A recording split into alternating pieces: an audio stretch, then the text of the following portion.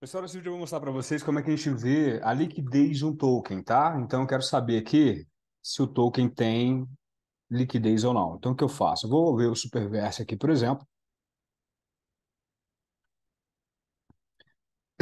Eu vou lá embaixo, posso clicar aqui direto ó, em Markets, que é Mercados, para ver onde é que ele está sendo negociado, tá? Que ele vai me dar mais ou menos aqui o volume, né? E se está tudo funcional, beleza?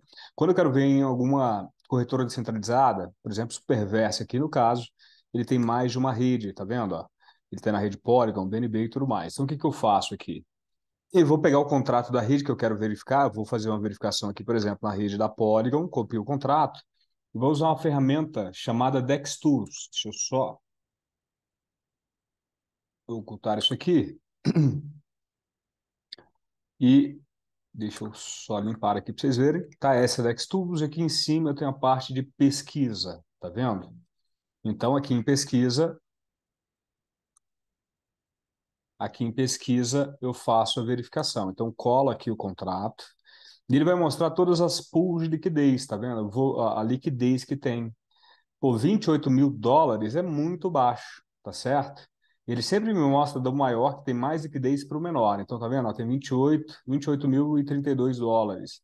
Aqui tem uma outra uh, no par, no par AWET aqui, né? Aqui ele vai mostrar o par, que esse token está sendo negociado, a liquidez que tem em frente a esse par, depois esse, ele vai trazendo uma nota, tá vendo? Esse é a pontuação maior, beleza?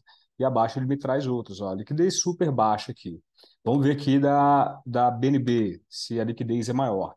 Então, vou aqui no DexTools, coloco o contrato, e ele vai trazer para mim, ó, liquidez muito, mas muito maior, tá vendo?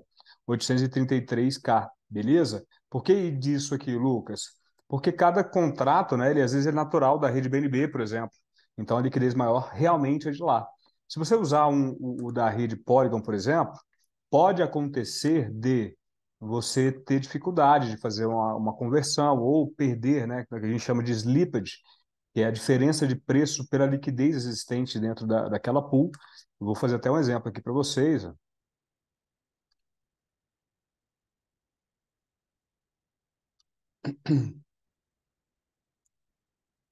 Ó. Só que ele já me dá um, uma, uma perda tá, de cara de 1,12%, né?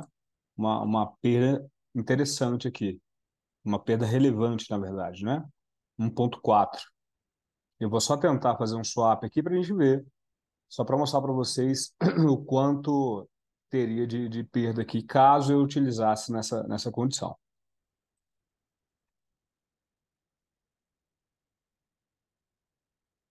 Então, ó, estaria 10 Matix, eu estaria trocando de 6,53 por 6,73, né? Não vou fazer operação, poderia perder até um pouco mais, beleza?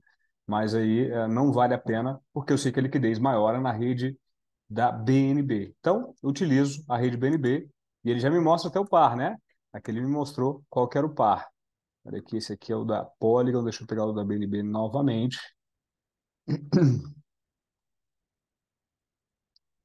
Então tá aqui, ó, 833, então lá na, na PancakeSwap, você pode clicar em swap aqui mesmo, de cara que a gente já vai te levar para lá, que é o super barra WBNB. Tranquilo? Só fazer o swap lá que ele vai usar essa pool aqui, ele mesmo faz todo o processo lá de aproveitamento da liquidez e tudo mais, e aí você consegue fazer essa conversão tranquilamente. Beleza? Um abraço e vamos para cima.